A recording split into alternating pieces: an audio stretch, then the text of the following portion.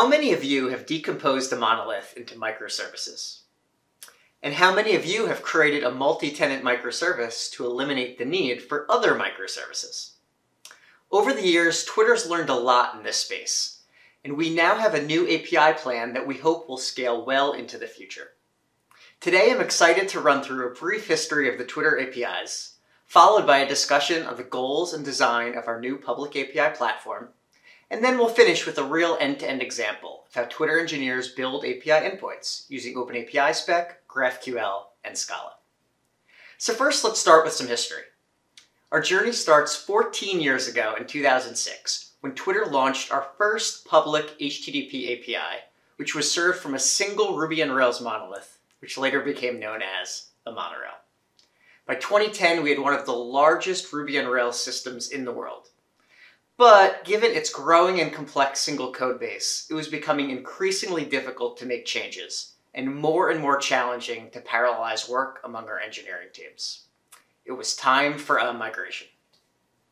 And in 2012, we completed migrating our public API off of the Rails monorail and onto numerous Thrift JVM microservices, fronted by a single HTTP JVM microservice named Woodstar. Woodstar was instrumental in getting almost all Twitter traffic onto the JVM. But in time, it became its own smaller monolith, which was becoming increasingly difficult to change and operate. The drums started beating once again. It was time for another migration. And in 2014, we completed the second migration from a single Woodstar API service to a set of 14 HTTP microservices running on an internal JVM framework named Macaw. While the microservices approach enabled increased development speeds at first, it also resulted in a scattered and disjointed Twitter API, as independent teams designed and built endpoints for their specific use cases with little coordination. Fast forward to 2017 when the Twitter app started using some new internal-only REST and GraphQL APIs. Having internal-only REST and GraphQL APIs helped our Twitter app teams move fast and iterate quickly without having to rely exclusively on the public API, which at this point was time-consuming to change. In early 2019, we started to plan for the next major version of the Twitter public API, and we knew we needed a new architecture to address the public API's slow iteration speeds and continued fragmentation. Which brings us to this year, when our new architecture started powering the public API platform, which now hosts our first API v2 endpoints. So with that brief history behind us, let's now look at the goals and architecture behind our new public API platform. For our new platform, we knew we needed a new architecture that can more easily scale with the large number of API endpoints needed to serve current and future functionality going forward. As part of this design process, we drafted the following goals. Our abstraction goal is to enable Twitter engineers building the Twitter API to focus on querying and mutating only the data they care about without needing to worry about the infrastructure and operations of running a production HTTP service. Our ownership goals seek to contain core and common API logic in a single place owned by a single API platform team while also allowing non-common API components to be authored and owned by different teams. And our goal of consistency is to provide a consistent experience for external developers by relying on our API design principles to reinforce uniformity. With the above goals in mind, we've built a common platform to host all of our new Twitter API endpoints. To operate this multi-tenant platform at scale, we had to minimize any endpoint-specific business logic. Otherwise, the system would quickly become yet another unmaintainable monolith. A powerful data access layer that emphasized declarative queries over imperative code was crucial to this strategy. As we discussed earlier, in 2017, our Twitter applications began using an internal-only GraphQL API. And this momentum built throughout 2019 when migrations to GraphQL started to happen across the company. It was perfect timing, and our team followed suit as we realized that the data querying needs of the public Twitter API are similar to the needs of our Twitter mobile and desktop clients. Put another way, Twitter clients query for data and render UIs, while the public Twitter APIs query for data and render JSON. A bonus from consolidating our data querying through a single interface is that the public Twitter API can now easily deliver new Twitter features by querying for GraphQL data already being directly used by our consumer apps. With the GraphQL-based platform approach decided, we needed a multi-tenant way for different teams to build and contribute to the overall Twitter API. To facilitate this, we designed several pluggable platform components and in this talk we'll focus on resource fields and selections. Resource field components are used to create the core resources in our systems. For example, tweet resources and user resources. And selection components are used to define how to find resources. For example, tweet lookup by ID selection or tweet lookup by search selection. Using these components, teams can independently own and contribute different parts of the overall Twitter API while still returning uniform representations in responses. At this point in the story, you may be curious where endpoint-specific business logic actually lives. We offer two options here. When an endpoint's business logic can be represented in StratoQL, which is the language used by Twitter's internal data catalog system, then we only need to write a function in a Strato-hosted managed column without requiring a separate service. Otherwise, the business logic is contained in a Finatra Thrift microservice written in Scala, exposed by a Thrift Strato column. In either case, since the platform provides the common HTTP needs for API endpoints, new APIs can be released without spinning up a new HTTP service. And if an endpoint can be constructed by querying for already existing GraphQL data, or if an endpoint's business logic can be implemented in StratoQL, then we can bypass almost all service owning responsibilities for that API endpoint. Now that I've discussed the history of the Twitter APIs and the high-level goals and design of our new public API platform, let's walk through an end-to-end example that shows how to create two new Twitter API endpoints. The requirements from our product manager are as follows. We must handle an HTTP GET request to slash two tweets that contains a single tweet ID in the path. If the request is ill-formed, return a 400 bad request. Otherwise, return an HTTP 200 JSON response containing a single tweet ID with its default ID and text fields. We must also handle an HTTP GET request to slash two tweets search recent that accepts a query, max results, and next token query params. Again, if the request is ill-formed, return a 400 bad request. Otherwise, return an HTTP 200 JSON response containing a list of tweets and the next token so that customers can paginate through the results. And similar to tweet by ID, we need to return the same standard tweet format that's used everywhere else in the Twitter API. Our requirements will need us to create a tweet resource which has an ID and a text field that are always returned by default. So on screen you could see where both of these resource fields would be defined in our common config directory. First, let's define the tweet ID field. On the top of the screen, you can see the contents of the fragment.graphql file. This fragment is used to retrieve all the tweet data needed to render just this field. In this case, we query for the ID string field in the GraphQL schema. On the bottom of the screen, you can see the contents of the field.scala file, which is used to configure various aspects of the field. The owning team is used to determine where to send automated pages when this field is experiencing problems. The always include field is set to true, which makes this a default field. We then specify that this field should be returned in all major and minor versions of our API. And finally, we use a special path-based renderer, which lets us declaratively specify how to render the field, without the need for imperative code. When imperative code is needed for rendering or error handling, it will exist in this Scala file, but the platform has a goal to limit the need for imperative code wherever possible. Next, let's look at how we define the tweet.text field. Since the GraphQL and Scala files will look almost identical to the tweet.id field, let's focus the slide on the two additional files that are present.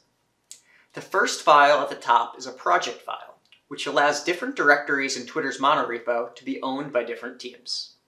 In this case, we include a project file which indicates that the tweet.text field is owned by the API vNext developers group in Phabricator, which is the system where Twitter performs its code reviews. By specifying this project level ownership, Phabricator will then ensure that all changes to this directory have a shipit from at least one member of the owning team. The second file at the bottom is a slos.json file, where the field owner can define a service level objective for retrieving and rendering this individual field.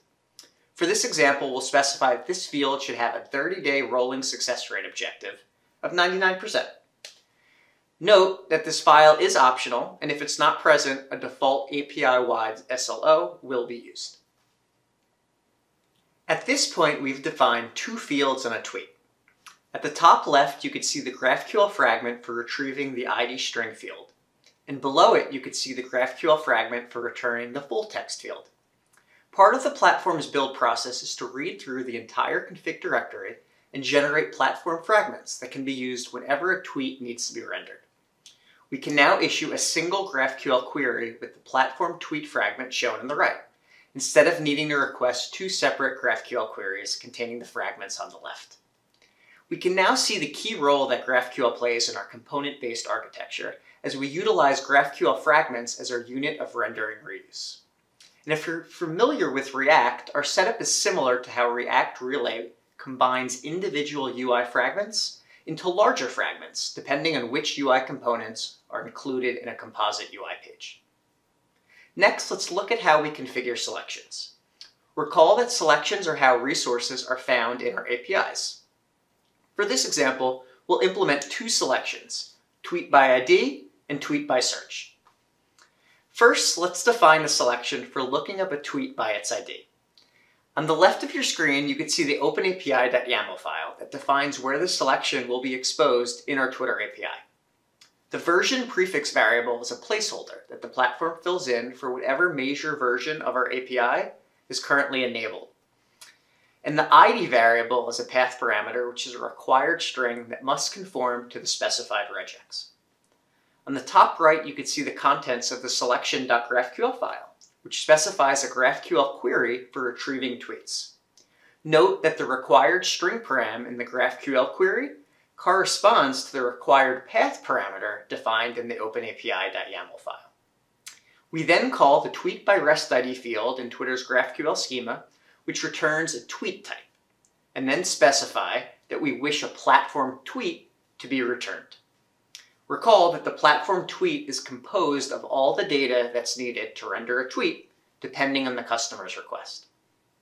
And finally, we have the selection.scala file, which is similar to route.scala, which we just looked at. Putting all the pieces together, the top row on screen shows an HTTP request for slash 2 tweets 20 that comes into the API platform, resulting in a GraphQL query named tweetById that's sent with a GraphQL variable that sets ID to the tweet 20 found in the incoming HTTP request. Each resource field then reads the GraphQL response and renders its field value, resulting in the render tweet seen in the bottom. Next up, we need to create a selection for retrieving tweets by search. Similar to tweet lookup by ID, we define an openapi.yaml file, this time containing additional typed and schema-validated query params. Selection.graphql is where we search for tweets using a search query. And note that the place where the platform tweet fragment is put in the query, that's where we expect tweets to be returned. And as a reminder, our GraphQL schema is based on our Strato data catalog system. So in this example, when we query for the match tweets GraphQL field, it's actually implemented as a thrift service, in this case named ID Hunter, which takes a search query string, num results, and a token as an input, and returns match tweet IDs and a cursor as output. Finally, we have a selection.scala file, which has an optional fail whole request method defined to produce more detailed HTTP 400 responses based on what our thrift service returns to us.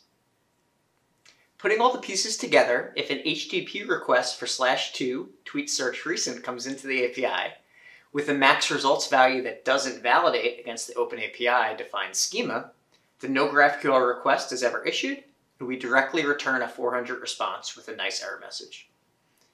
And now let's look at a well-formed HTTP request. This time we issue a GraphQL request with the GraphQL variables populated from the HTTP request query params. And then at the bottom, we render tweets in the standard expected format with the default ID and text fields. Hooray! We've successfully built two new API endpoints capable of selecting a tweet by ID and by a search query.